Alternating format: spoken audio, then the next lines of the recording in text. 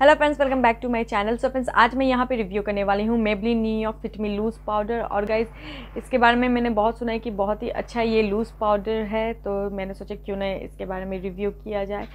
सो guys यहाँ पे मेरे वीडियो के एंड तक ज़रूर देखिएगा, क्योंकि मैं इसे अप्लाई करके डेमो भी दिखाऊँगी। बहुत ही बेनिफिशियल होने वाला है ये वीडियो तो एंड तक ज़रूर देखिएगा।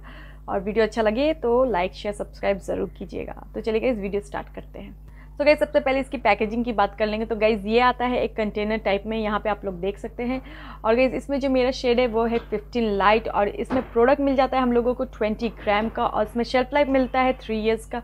और इसकी जो प्राइस है, वो है rupees six hundred ninety five और गाइज़ यहाँ पे बैक में मैंशन कर दिया गया है कि ये एक मिनरल बेस्ड फार्मूला से बना है, जो शाइन को कंट्रोल करेगा और एक स्मूथ स्किन टेक्सचर देगा और बहुत ही फ्रेश और नेचुरल लुक देगा। बहुत ही लाइट वेट है ये और कवरेज भी प्रोवाइड करता है। तो चलिए गई इसे अप्लाई करके मैं दिखा देती हूँ, लेकिन इससे पहले मैं इसी ब्रांड का फिटमी का कंसीलर और फाउंडेशन अप्लाई करूँगी अपने फेस पे और फिर इस पाउडर से सेट करूँगी कि ये काम करता है कि नहीं। सबसे पहले यहाँ पे फाउंडेशन अप्लाई कर लूँगी प्रोडक्ट को अप्लाई करने से पहले। तो गाइज़ यहाँ पे मेरा जो शेड है मेबलिन में one one five ivory so guys यहाँ पे मैंने एक ही पंप लिया है और उसे डॉट डॉट करके फेस पे पूरे अप्लाई कर लूँगी।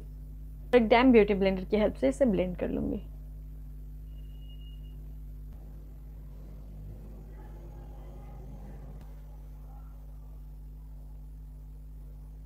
तो गाइज़ ओपन करने के बाद यहाँ पे कुछ ब्रैकेट्स ब्रैकेट्स टाइप के होल हैं। यहाँ पे मैंने थोड़ा सा प्रोडक्ट ले लिया है और अपने डैम ब्यूटी ब्लेंडर की हेल्प से थोड़ा सा प्रोडक्ट पिक करके इसे मैं अपने अंडर आई एरिया पे अप्लाई करूँगी। यहाँ पे मैंने कंसीलर अप्लाई किया है। यहाँ जहाँ मैंने कंसीलर अप्लाई किया है, जैसे फोरहेड पे माउथ एरिया के पास under eye area so guys यहाँ पे मैंने कुछ देर के लिए इस प्रोडक्ट को रखा था, अब मैं इसे ब्रश की हेल्प से रिमूव कर लूँगी।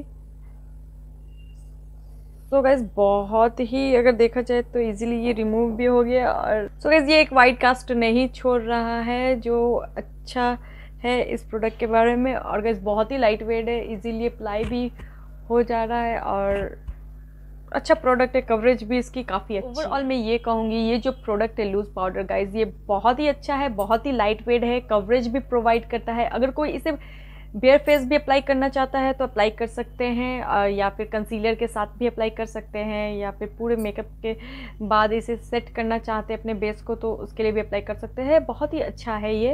ये जो है थोड़ा सा स्लाइटली एक्सपेंसिव है सिक्स नाइन्टी फाइव में आता है ये लूज़ पाउडर तो गाइज़ ये जैसा रिज़ल्ट दे रहा है, उस हिसाब से तो गाइज़ बहुत ही अच्छा है। और इसे मैं हाईली रिकमेंड करूँगी। कोई इसे अगर परचेस करना चाहता है तो ज़रूर परचेस करें। एक बार ज़रूर इसे ट्राई करें। अच्छा प्रोडक्ट आई होप गाइज़ आप सभी को मेरा ये रिव्यू अच्छा लगा है। अगर अच्छा लगा है तो मेरे चैनल को सब्सक्राइब लाइक शेयर ज़रूर कीजिएगा और नोटिफिकेशन बेल को भी हिट कर दीजिए कि आगे से कोई भी वीडियो अपडेट्स आपसे मिस आउट ना हो। So bye guys take care